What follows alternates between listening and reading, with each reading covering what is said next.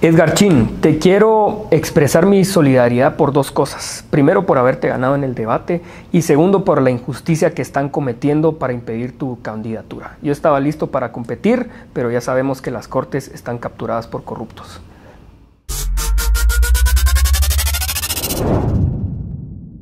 ¿Quién eres?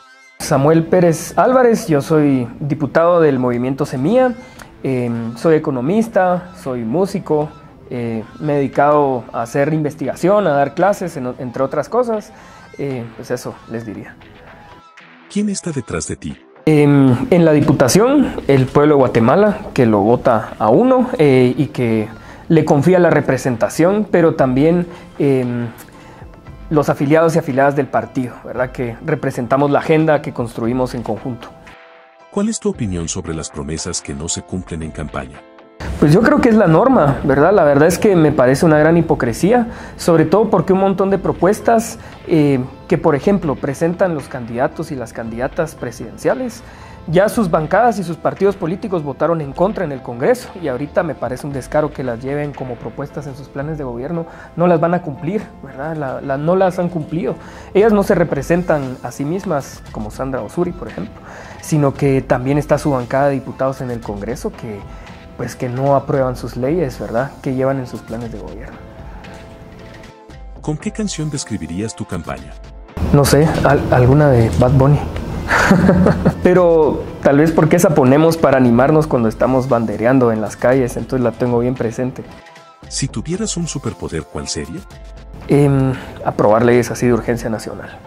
Em, la de farmacias públicas, esa es la que creo que es mi favorita de todas las que hemos presentado, porque además tiene un impacto así inmediato en la gente, ¿verdad? Reducir el precio de las medicinas hasta en 300% solo con aprobar una ley, me parece que generaría un impacto así histórico.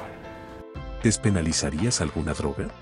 Yo creo que sí hay que cambiar el enfoque de cómo se está abordando ese tema en Guatemala, ¿verdad? Yo creo que la verdad ese modelo de combatir a partir de violencia, el narcotráfico, eh, el tráfico de drogas en general no funciona, ¿verdad? No funciona en Guatemala, no funciona en otros países en el mundo.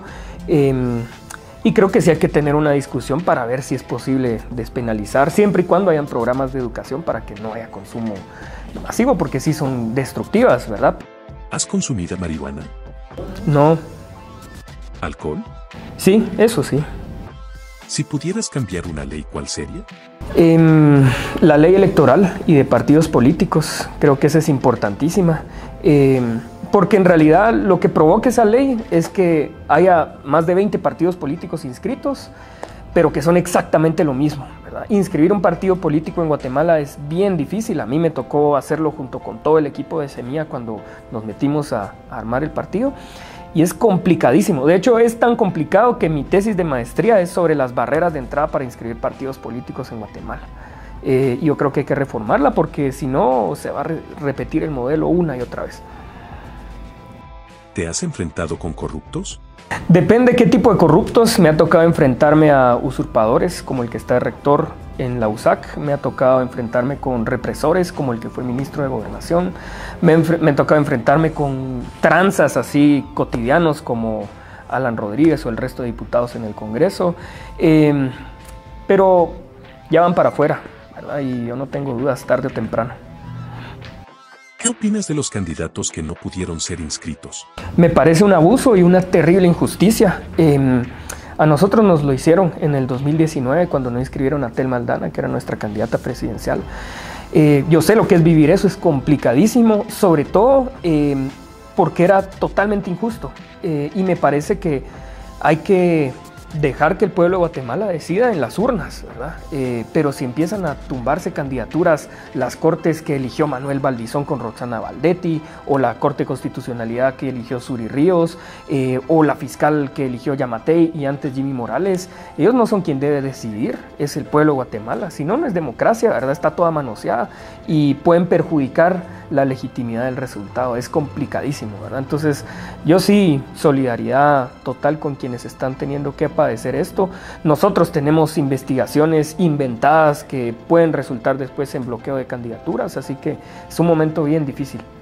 es todo este régimen, ¿verdad? Que tiene expresiones diferentes, eh, rostros diferentes y alguien ocupa el poder. Ahorita Yamatei junto con Suri Ríos, junto con Sandra Torres, eh, la fiscal general como su operadora, digamos, legal, los magistrados también en segundo plano, eh, entre otros, ¿verdad? Y los financistas que están detrás, ¿verdad? ¿Cómo es tu inicio en el movimiento Semilla? Yo quería que le entráramos a armar un partido político y solo como anécdota, Bernardo no quería armar un partido político y ahorita está de candidato presidencial, ¿va?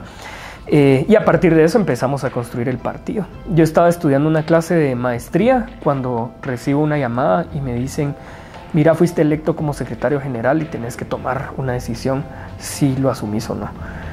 Y lo asumí. Así que ahorita en el Congreso. ¿Sos el secretario general de? Yo fui el secretario, el primer secretario general del Comité Pro Formación, el primer secretario general del partido. Y como el cargo dura tres años, yo no fui a la reelección. Eh, así que ahorita soy secretario de Formación Política. Agenda legislativa. Agenda legislativa para el próximo periodo Sí, lo primero es priorizar lo que ya hemos presentado y por no tener una bancada lo suficientemente grande, lo han tumbado los corruptos porque solucionaría problemas inmediatamente. El tema de reducción del precio de las medicinas, internet gratis para educación pública, reducir la inseguridad, las extorsiones en 70% porque bloquearíamos la señal desde las cárceles. Eh, hay una reforma a la ley de bienestar animal, por ejemplo, este, eh, una ley de moratoria eh, a la actividad minera, entre un montón de cosas que ya hemos presentado. Y luego otras que se complementan con el plan de gobierno, ¿verdad? Apoyar, por ejemplo, la construcción del metro subterráneo, la primera línea del metro, eh, con el apoyo de, Ninochka en la Municipalidad de Guatemala. Em, entre otras cosas, ¿verdad? Pero es priorizar la agenda que ya hemos presentado y avanzar la, la nueva que llevamos. ¿Qué siente ser jefe de bloque? Pues a mí me da mucho gusto, a mí la verdad es que de las cosas que más me entretienen en el Congreso es ir a denunciar corruptos. El primer día, la primera sesión que tuve de jefes de bloque, me sancionaron, me querían eh, imponer una sanción la junta directiva porque les fui a decir que la agenda que estaban presentando una agenda mediocre y se ofendieron. Dijeron, ¿cómo nos va a decir mediocres a nosotros? Era una agenda mediocre en medio de una crisis económica, lo que estaban haciendo era un tema de apostillado y no sé qué, como que hasta bueno, arreglémoslo, pero ahorita hay una crisis económica bien fuerte, ¿verdad? Y entonces se ofendieron, me llamaron a la junta directiva porque me querían sancionar, eh, así que pues es emocionante la verdad. ¿Qué opinas sobre la autorización de préstamos? Pues eh, yo creo que es, es, un descaro total, esa es la realidad. Eh, nosotros por eso lo denunciamos como eso y sobre todo cuando la recaudación estaba en aumento. Eh, si hay dinero de la recaudación, no tiene sentido empezar a endeudarse. Eh, lo que pasa es que los préstamos en Guatemala regularmente son un negocio de los bancos privados, porque ahí es donde se deposita el dinero del Estado, ¿verdad? Y genera intereses para los bancos, lo pueden estar ahí manejando como quieran. Es decir, es un negocio al final de cuentas ese tema, no es simplemente este préstamo va a producir condiciones de desarrollo o este préstamo va a sacar de la pobreza un montón de gente o va a generar empleo. Mentira, es un negocio los bancos.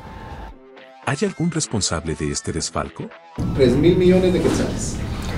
Sí, el máximo responsable es Alejandro Yamatei. Él es el culpable y responsable de todo este desastre. ¿Por qué? ¿Qué pasaba con Yamatei? Él no tenía necesariamente operadores dentro del Congreso, su bancada en realidad era un montón de serviles.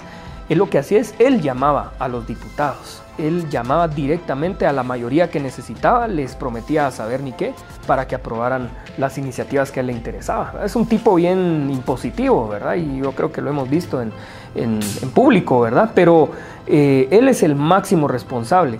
Pero de primero, antes de llamar a los diputados, llamaba a Sandra y llamaba a Suri. Así que entre ellos tienen ahí un pacto que ha durado estos últimos años, eh, porque la bancada de Yamatei no tiene 81 votos, necesitaba la UNE, necesitaba Valor, necesitaba a los de Mulet también, eh, y a otros, los otros corruptos irrelevantes. ¿Mulet es parte del sistema? ¿Crees que Mulet es parte del sistema? En buena parte sí es, eh, y además se alió con todo el sistema, el sistema más rancio además lleva criminales, lleva crimen organizado, lleva corruptos investigados, es decir, se juntó con exactamente lo mismo y sus diputados en el Congreso votan exactamente igual que el resto, así que pues muy diferente no es. ¿Alguna vez te habló Yamatei? Hablando de Yamatei, ¿te llamó alguna vez? Mira, Samuel, necesito que bancada haga esto. A mí no me habló, pero sí me habló a través de su jefe de bloque en ese momento, que era Maynor Mejía. Eh, porque estábamos en la discusión de reformar el crédito hipotecario nacional, que tenía un potencial enorme esa reforma. Y eh, yo presenté una enmienda para sacar a CACIF de la Junta Directiva del Crédito Hipotecario Nacional porque no tiene sentido que esté CACIF ahí metido, si son su competencia privada, arruinando la parte pública. Y entonces necesitaban los votos de semilla, estoy seguro. Em, y entonces les dije, bueno, nosotros podemos apoyar esta reforma siempre y cuando no metan otras enmiendas, pero nos permiten pasar esta enmienda porque si no, no va a funcionar. Todo lo que intenten hacer con el CHN no va a funcionar porque su competencia está metida ahí. Y entonces Yamate llamó a Maynor Mejía cuando estábamos negociando esa enmienda y le dije, mira, y, y, me dijo, mira, dice el jefe que solo saquemos a la Cámara de Comercio. Yo creo que es porque tenían un supleito ahí con el vicepresidente y él venía de la Cámara de Comercio.